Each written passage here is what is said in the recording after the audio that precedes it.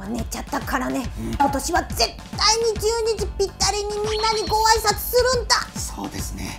10分前になったら着替えて気持ちよく新年のご挨拶をしましょうか。そうだね。楽しみだな。でもね今年はね絶対ご挨拶できると思うんだよ。こうやって時計も見てるしね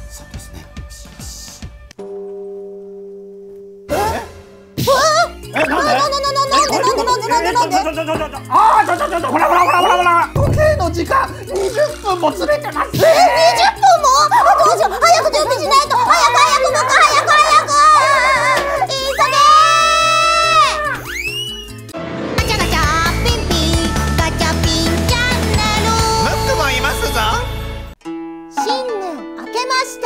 急げガ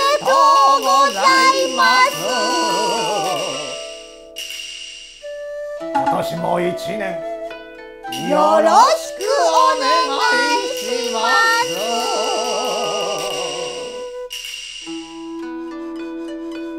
新年第1回ということで去年見てくれているお友達に募集した質問に答えていきたいと思います。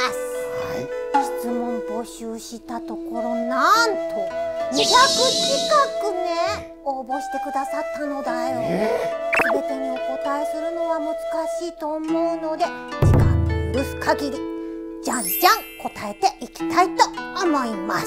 ーはい。ガチャピンチャンネル。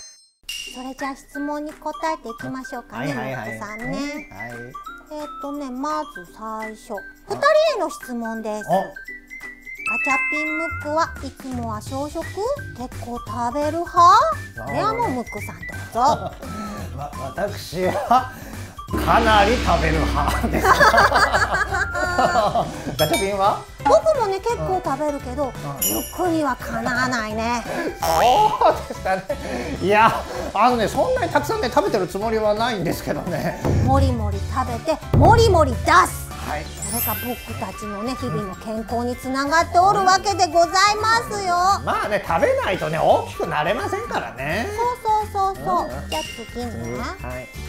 えっ、とねあほんとねガチャピンムックにとって去年はどんな年だった？っていうのとうん。まあ漢字一文字でお去年を表してくださいっていうのもあるのでじゃあこれは一緒に漢字一文字でちょっと表してみようかね。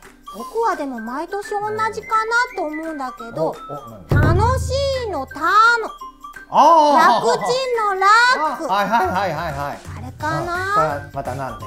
去年も大変な年だったじゃない？だけどそんな時こそこう自分を楽しませるっていうのかな、そうしないとみんなに元気を届けられないからね。まずは自分が楽しいっていうことを大切にしてそこから元気になってみんなと楽しく過ごそうって。そんな感じかな。あ素敵ですね。僕は？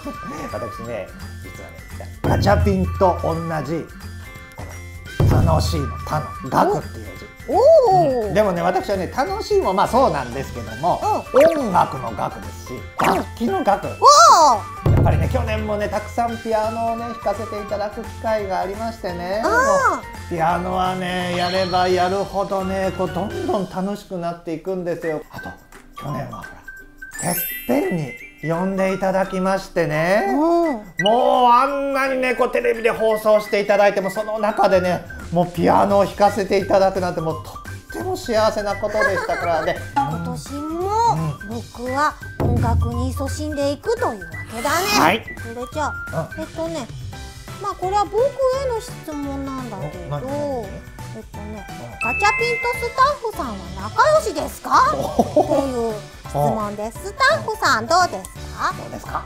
いや仲良しですよねそんな無難な答えで済まされると思ってるの？ねもうちょっと具体的な回答お願いしますよ。そうそうそう。ガチャピンさんといつも楽しく撮影させてもらって何そう笑って嘘っぽい嘘くさくなる嘘さって笑っ言わされてるみたいな感じ出すのやめてくださいよ。よ。なんか僕たちが圧かけてるみたいでそうで。すよ。嘘じゃない本当にいつも本当楽しく撮影させてもらっててうん、どういうところが？具体的に。でもいつも2人の楽しいやり取りがねやっぱ見てるだけでも僕たちに本当力をもらえてるというか。と顔がこわばってるけど大丈夫、こうわってないです。だいぶ汗かいてません？大丈夫？笑顔満点。そうだよね。こんなやりとりができるぐらい仲良しですよ。ねえ。はいじゃあ次行こうかな。あムックに質ん？問お、なんでしょう？んとね、ムックがまだ私の夢に出演してくれません。おいつになったら出てくれますか？うおーなるほど。あーまだ出演しておりませんでしたが。だって昔からあの夢を見るには、うん。あのほら枕の下にこう写真を入れて寝るといいなんて言うじゃないですか、うんうんうんうん。ですからもしよかったら私の写真をねこう枕の下に挟んでいただいてそしてお休みになってみるというのはいかがでしょう、ねそしたらムックがね。夢に出てくるかもしれないね。ぜひお試しください。お試しくださいませじゃあ次ね、えー、っとね。あ小学生の娘さんから。あら。ガチャピンはサンタさんにどんなプレゼントをお願いしましたか？っていうあ質問です。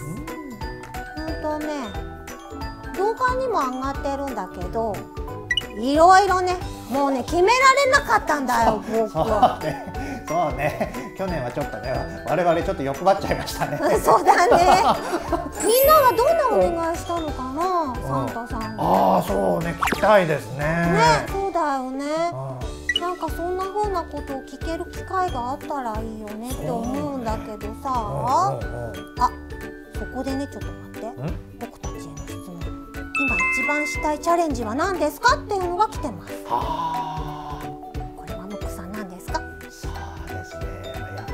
りですねあの皆さんにこう会いに行くというチャレンジをしたいですね。あーそうだね。ね。チャレンジっていうか願いだよね,、まあそうね。みんなに会いたいね。うん。直接。やっぱりね皆さんと直接会うことで、うん。皆さんのねもうエネルギーをいっぱいいただけると言いますかもううん本当にこう元気になりますし、もう楽しくてね幸せになれるんですよ。ですそうからだね全国津々浦々皆さんに会いに行きたいですな、みんなに直接会う。うん。それをチャレンジ今年の目標にしたいと思います、はい。さて次です。ガチャピンムックは帽子持ってるんですか？持ってますよ。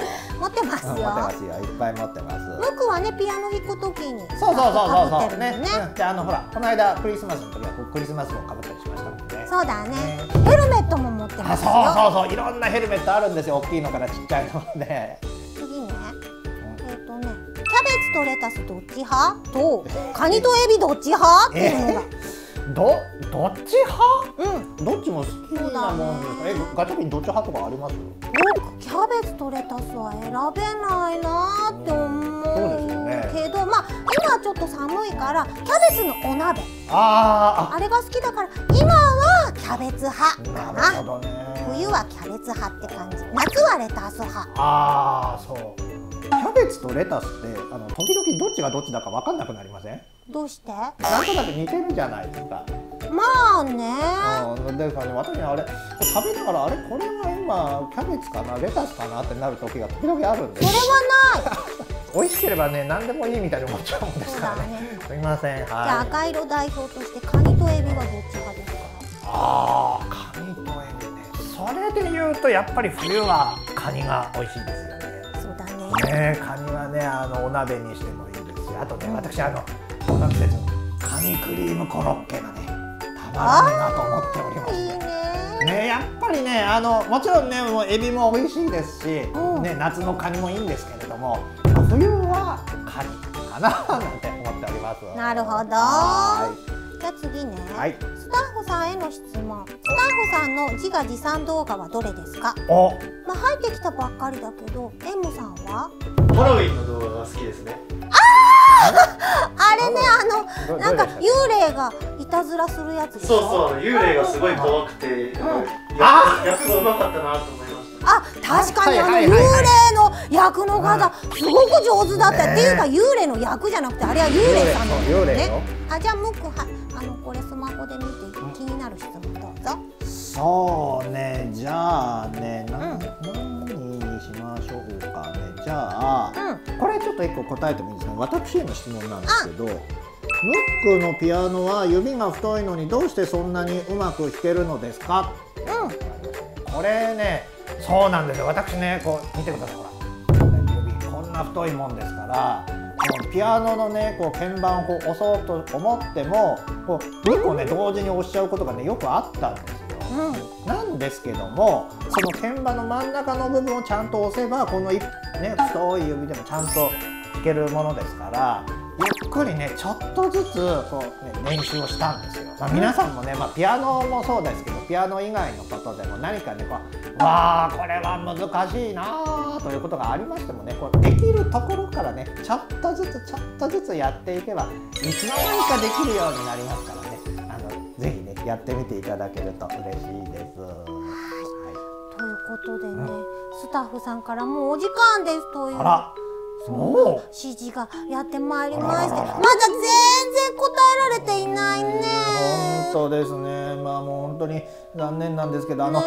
あのいただいたコメントはね、全部あの見ておりますからね。さあさあさあ、はい。見ております。あそういえばん？僕もねコメントしたんだ実は。え、あ、お、ぎ、ぎ、ぎく、ムック最近なんかコソコソしてない？ぎ、えぎく、ぎく。何してるのさ。いやー、それはちょっと言えない。でも教えて。よ、え。ーうーん、しょうがないですね。ちょっと耳を貸してください。ええ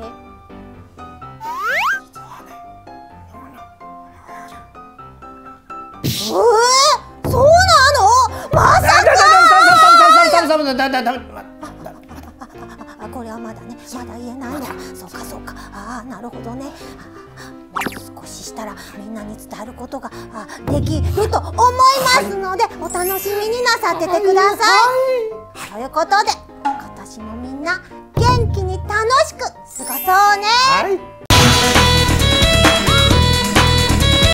チャンネル登録者50万人突破記念グッズが発売中詳しくは概要欄をチェックしてくださいね。